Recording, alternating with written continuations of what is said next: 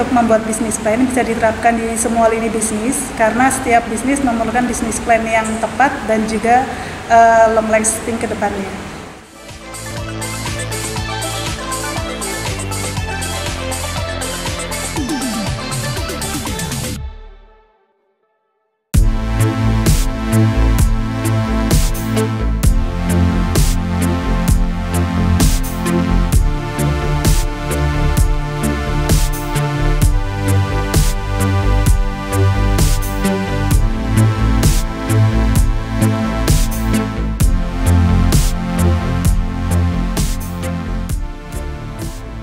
Nama saya Kamala Anggriani Putri sebagai Bendahara BPC HIPMI Kabupaten Tuban.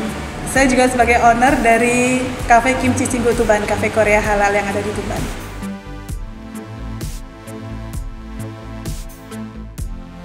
Untuk membuat bisnis plan itu ada beberapa hal yang disiapkan. Yang pertama, executive summary atau ringkasan eksekutif itu tentang visi dan misi bisnis kita kemudian ada produk uh, description tentang deskripsi produk yang akan kita buat. Jadi untuk kelemahan dan kekuatan bisnis uh, produk bisnis kita seperti itu. Kemudian yang selanjutnya ada uh, target market. Jadi siapa yang akan menjadi calon customer kita.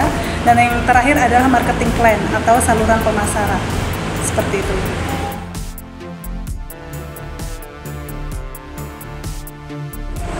Jadi manfaat bisnis plan itu adalah uh, mempersiapkan kita membuat bisnis yang baik dan bisa bertahan ke depannya. Tanpa bisnis plan, uh, bisnis itu bisa menjadi tidak terarah. Seperti itu.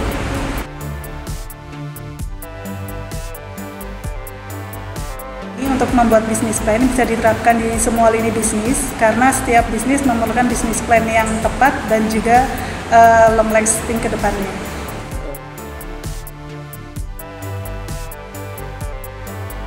Iya, pesan untuk teman-teman pebisnis pemula, yang pertama kalian harus uh, mempersiapkan dengan baik bisnis plan uh, yang akan dibuat uh, supaya bisnis yang kalian buat ini nanti bisa bertahan lama dan juga bisa sukses. Kemudian uh, yang terpenting adalah tidak tidak takut untuk mencoba untuk merealisasikan bisnis kalian.